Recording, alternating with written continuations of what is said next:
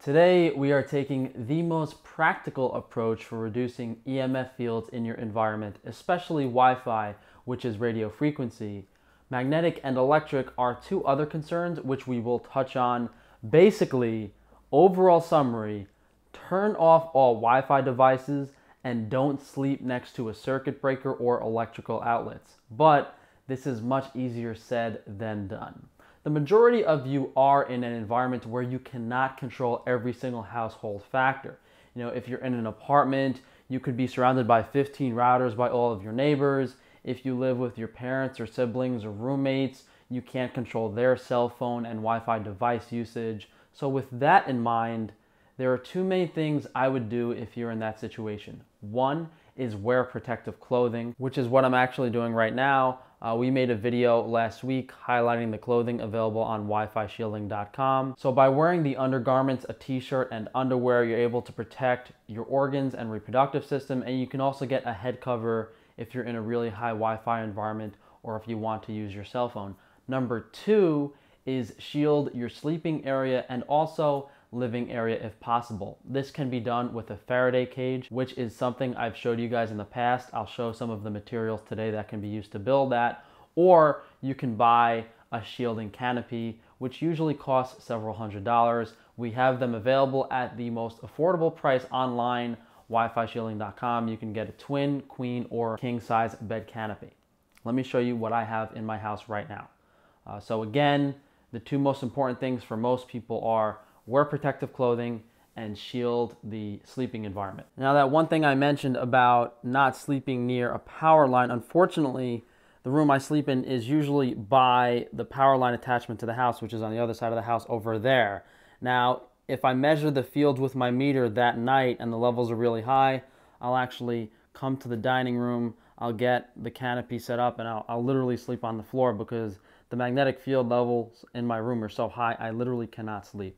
Uh, so we'll take a quick look at this canopy. I actually have two here overlapping each other. And you know, I'm in New York, and if you're in an incredibly high Wi-Fi EMF environment, uh, you might need uh, to shield the bottom underneath. Uh, and just having two on top can be just a little bit of reassurance. It's usually not necessary. When you create a Faraday cage, it's important that you ground it. So this silver fiber fabric is protecting you from any kind of beams coming in here. So this canopy has a patch on it which has a metal button and that metal button attaches to this wire which comes with the canopy and you plug it into the bottom of the electrical socket. Ideally, you don't want something else plugged into it. And what that does is since it's grounded, there's no electrical fields inside the canopy and I'll show that to you guys with the upstairs one. So if the sleeping environment is shielded, you're able to protect yourself at least for you know the six, seven, eight hours a day that you're sleeping. Now I spend a lot of time upstairs on my computer, so what I actually did was I set up another canopy here. And you know, if you're on a budget, if you don't want to build two, you can obviously just move this up and down as you're sleeping, as you're working, which is a little bit of a pain, but it's definitely worth it. This one is grounded as well. If we take our electric and magnetic field meter, and I'll actually show you guys. So if I point the magnetic field at my circuit breaker, you know, it's 200 which is pretty high. But if I go into my parents' room and point it at the circuit breaker, it's much lower, a much safer magnetic field level. So uh, something that I did plan on touching on later was these magnetic fields that come from circuit breakers, that come from power lines. Now, as we go into my sister's bedroom, the magnetic field levels are higher too when you point it at the circuit breaker. And my sister is actually sleeping downstairs in the basement now because she can't sleep upstairs. That's because you know, those power lines that are very close to the house attach to the corner of the house over there where there's a circuit breaker. So magnetic field levels are definitely not safe. I think I'll touch on these meters in another video, but the point is wherever the power lines attach to your house, you don't want that. We'll, we'll go outside and we'll measure the power lines and that later. So those high magnetic field levels are the reason I sometimes sleep in the dining room downstairs. If we switch this to electric fields, you know, the electric fields in this part of the room are 14, but electric fields come from outlets. Uh, so this is actually a filter that I plugged in to kind of reduce the dirty electricity. So it's measuring really high here, but it dissipates very quickly. Now since this canopy is grounded, if you put this meter inside here, the electric field levels should be much lower. They're around six or five. So the electric field levels are lower inside the canopy. Now the reason that electric field did not go lower is because this is not a true Faraday. It's just a canopy draped over my computer and there's nothing shielding the bottom. So if you did enclose something in 100% Faraday, then the electricity would accumulate inside and that's why it absolutely needs to be grounded. Uh, if you do want to know the benefits of grounding outside of making sure electricity doesn't build up, I do have a separate video on it. Either way, any sort of radiation device, electrical device, if it's not clothing on your body, it should absolutely be grounded and even in day-to-day life, we should try to ground as much as possible. I guess I should explain for anyone that doesn't know what grounding is, it's an electrical current will always go to the path of least resistance and if you're not connected to the earth, you are the path of least resistance. So as long as you are grounded in connection with the earth through some type of metal, you know, copper wire, metal wire connection, you're fine. But the main reason we're using this canopy is to block radio frequency radiation, which is measured with this meter. So outside in my room here, there's like random flashes of, of like moderate levels of radiation. But inside this canopy, it goes much lower. And I'll use my cell phone as an example. So right now my phone's on airplane mode and the meter's green. I turn it off airplane mode, goes immediately to extreme.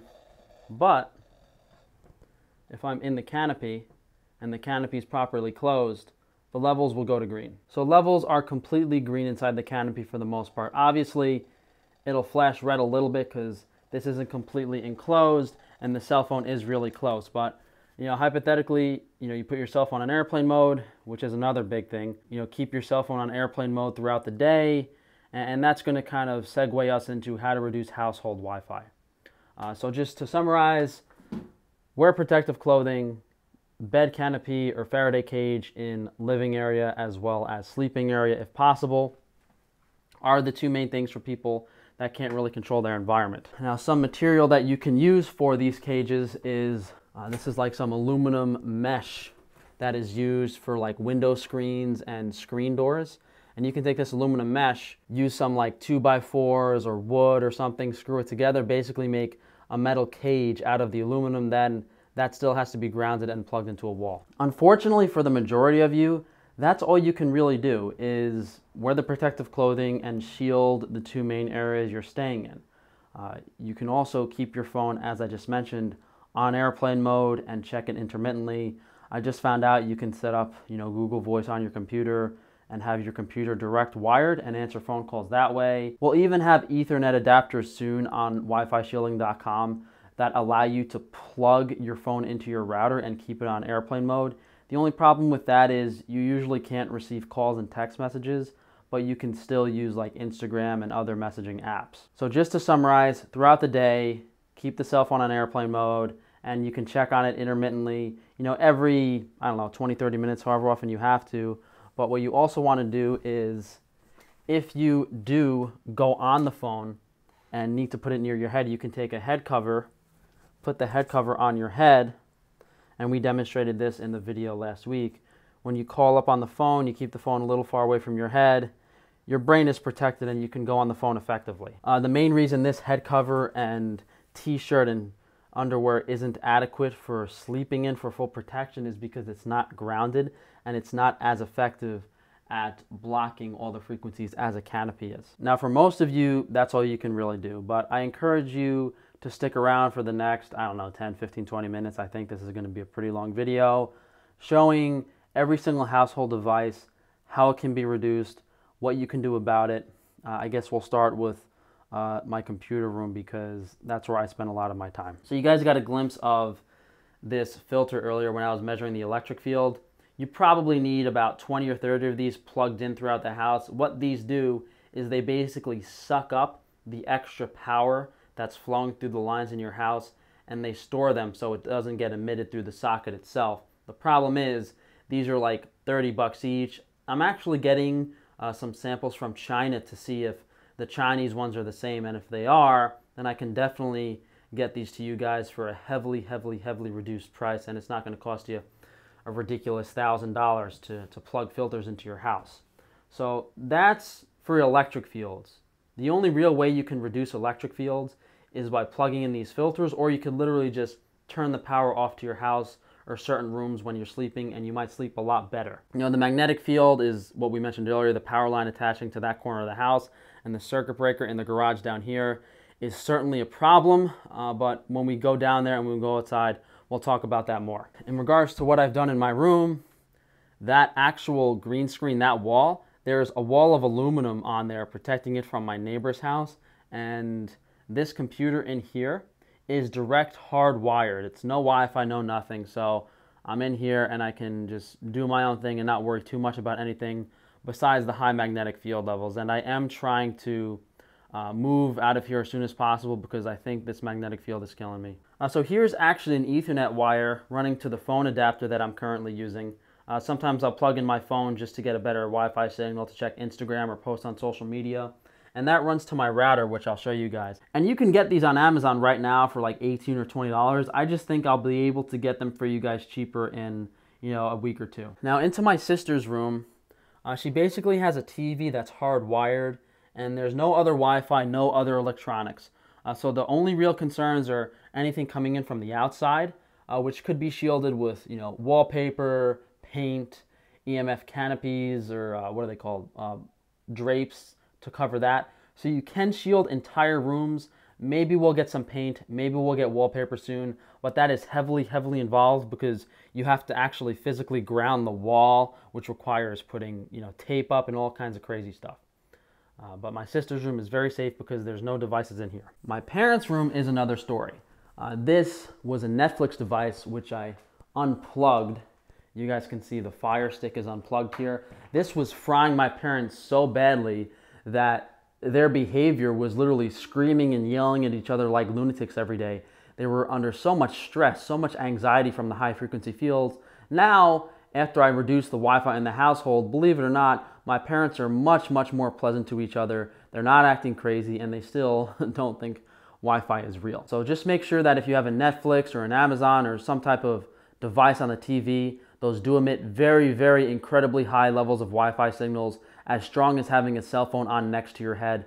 So I would not use them in a household. I would unplug them. I don't think they can be directly wired either, so you need to find another option to watch TV. On the other side of my parents' bed is actually the microwave, so I put some aluminum mesh screen on the back of their headboard to protect them a little bit. Oh, well, I'm glad I caught that. My mom has an electric blanket on the floor, and I have my own electric blanket downstairs that was pretty expensive. I think it was like 180 bucks, but Usually they're very high electric field.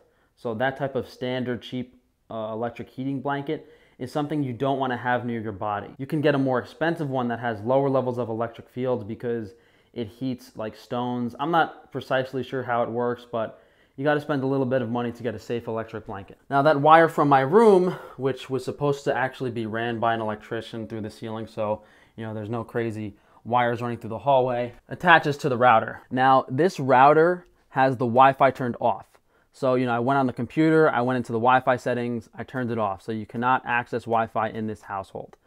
Um, what you could also do is you could, and I used to have it encased in uh, aluminum and metal mesh just to reduce it or in case, you know, who knows if it's still emitting something, I don't know.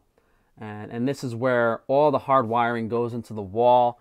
Uh, you know, there's one Ethernet cable going to hardwire my computer. There's one going to the downstairs computer. There's one going to the garage. You know, there's one going to my phone. So what you want to do is you want to put the router in a part of the house, turn it off, and wire everything else to it. I don't really recommend having Wi-Fi on at all throughout the day in your household. If your kids want to use devices, it can absolutely be hardwired.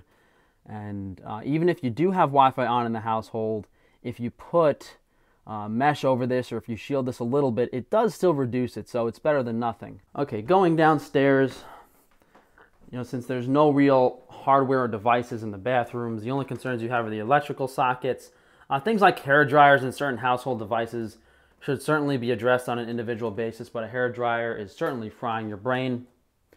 You know, a place like here, this part of the house that's really open and has a neighbor's house, you know, right across, you know, the neighbor's Wi-Fi is constantly, I get signals coming in here. It could also be their smart meter. and I'll show you guys the electrical meter on my house. Uh, this is something that's always overlooked. These RoboVacs, which is unplugged, emit incredibly high levels of Wi-Fi radiation. So if you have a RoboVac, get rid of it. My brother bought this for my parents. I told him to stop using it. Now this phone is special in a sense that it doesn't emit radiation. It's a hardwired cable phone and any wireless phone, I believe they call them DECT, D-E-C-T phones, emit pretty high levels of signals. You know, my grandma had one next to her bed where she was sleeping. I think she just put it back. But you want to take out the old phone and put in something old school, something that's hardwired. And this is like a, a 50 foot cable, which can go pretty far throughout the house. So you have one or two of these in the house. You know, you have a safe, low Wi-Fi way of speaking to people on the phone. That brings us to the most common household device there is, the microwave which emits dangerous levels of all types of radiation, to my understanding radio frequency, magnetic, and electric, especially when it's on. Uh, when I get my own place, I am ripping the microwave out of the wall. You know, my parents don't seem to really care that they have an x ray in their kitchen, but yeah, I mean, this is probably the highest on the list of devices that need to be removed from the house. Uh, we have another TV down here, but again, it's hardwired. You know, there's no sort of signal coming out of anything here. Uh, the one thing to be concerned about kitchen devices in general is newer devices, whether it's a dishwasher, an oven, or refrigerator, they come with new smart technology which can emit very high levels of radio frequency radiation. So I would definitely avoid the newer products and actually buy older or used stuff.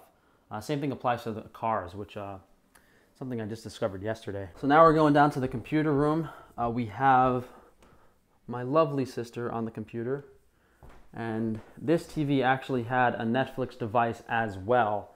And I unplugged it, I turned it off. This was actually radiating my parents because they're above the ceiling and they were also getting radiated by the microwave and their Netflix device upstairs. So they were getting completely fried and cooked. Um, th this computer is also directly wired as well. And my mom bought a new printer last uh, week or, well, two or three weeks ago and it was basically frying all of us until I realized, oh, she bought a new printer and forgot to turn the Wi-Fi off the printer. So you have to go into the printer Wait, settings. I need the Wi-Fi though. I'm using the computer though. No, Gina, the, the printer is directly hardwired to the computer, so it prints without needing Wi-Fi. Oh. And the computer is directly hardwired to the internet, so it doesn't need a Wi-Fi signal. So you have to go into the settings of the printer and make sure that it's off. And there's different ways to do that depending on your printer model. I turn this off. I'm going to double check if uh, the Wi-Fi signal actually turn back on later. I'm not sure, but it should be off. Dishwasher, washing machine, obviously any sort of device, whether it's this or the fridge, you don't want to be sleeping next to it because uh, it will emit some type of magnetic or electric field in close proximity. The overarching concern is the new smart technology and devices that can uh, emit very, very high levels of far traveling fields. Now we're in the garage and the real big concern here is the circuit breaker. For this video, I'm not gonna grab those meters and show you guys levels and this and that anymore, mainly because that should really be saved for a video talking about meters and most of you guys don't have them. What I will say down here in the garage, the circuit breaker has varying levels of magnetic fields. Sometimes it goes very high and they're actually dangerous. Sometimes it's much lower and actually safe. I'm in contact with Con Edison about that. And uh, when I do make that video on which meters to get that are reasonably affordable, you know, you do want to make sure that there's no faulty wiring or that Con Ed isn't pumping electricity into your house because that'll increase the magnetic fields really, really, really high from like um, 80 to 100 nanoteslas, which is a unit of measurement, up to like 800, 900 nanoteslas, which I believe converts to like 9 milligauss. I mean, that's above most of our heads. Point is, the circuit breaker is right here in the garage, and when I work out a lot, when I'm 10, 15 feet away from it, I'm basically cooking myself. So you really don't want to be living or sleeping or working near a circuit breaker at all at any point during the day. And the main problem is in this house, the circuit breaker's in the corner over there.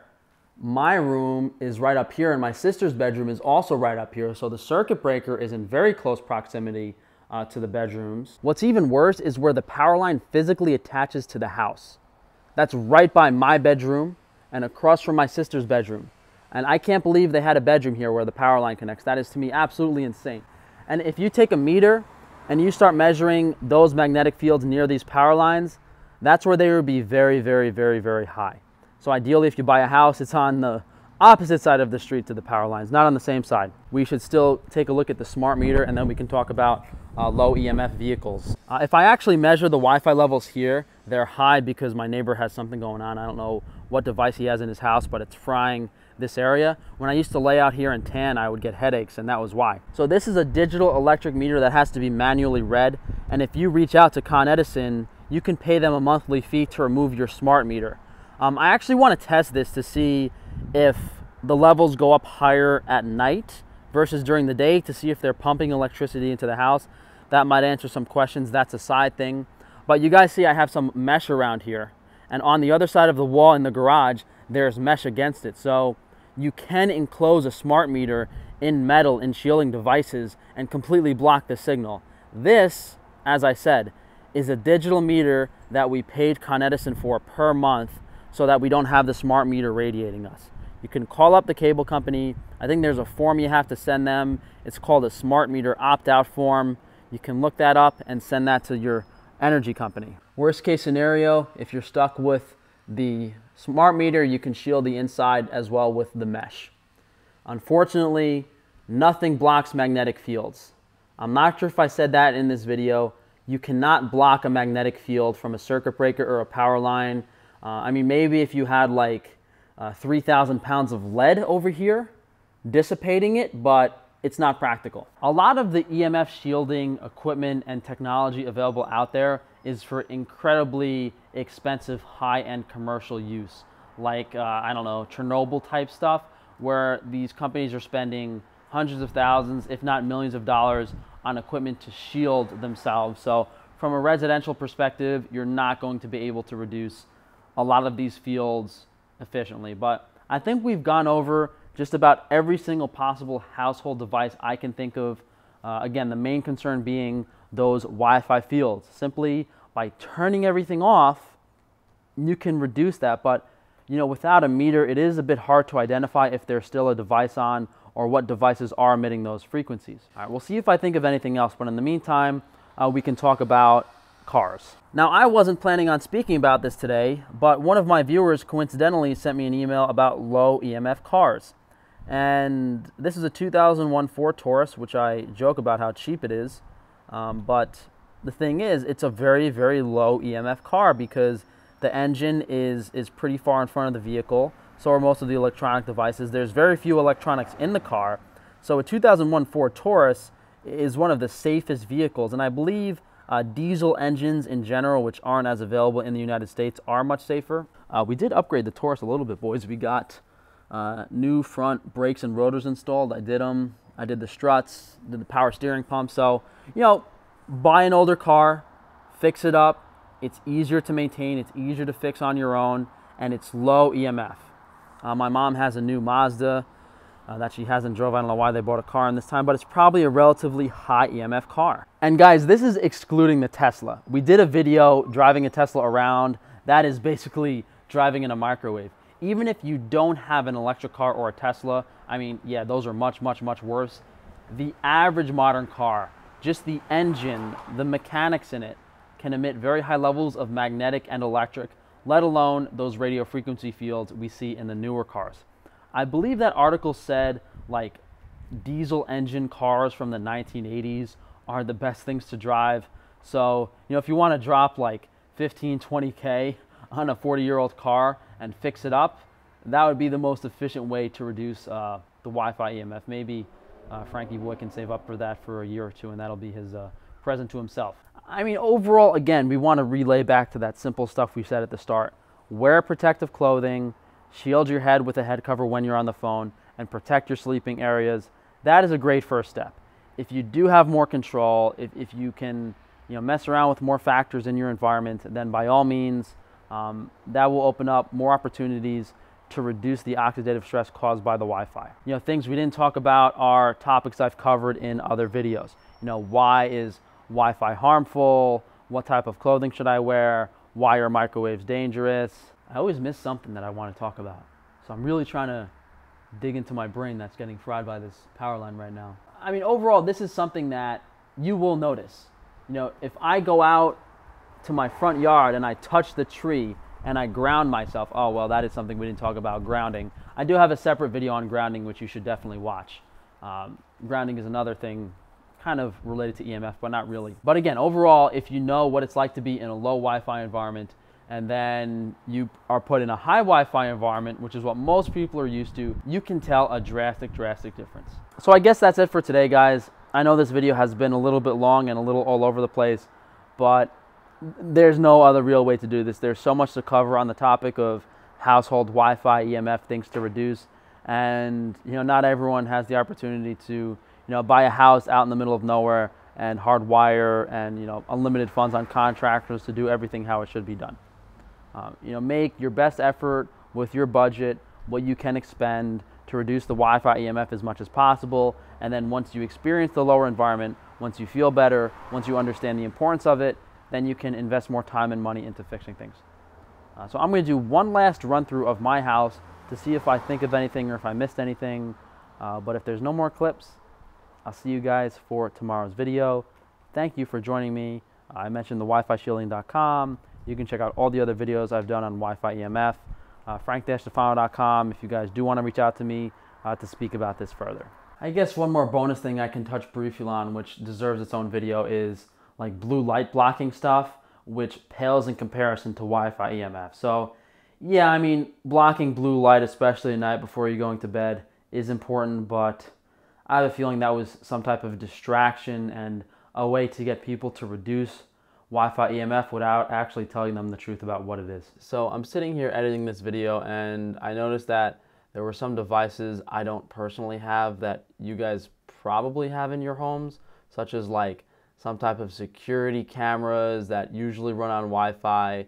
You could also have like an Amazon Alexa or some type of Google Home device, very high levels of radiation, and also like a doorbell or a door camera basically anything that runs on Wi-Fi, aka radio frequency, Bluetooth, headsets, a lot of things are commonly overlooked.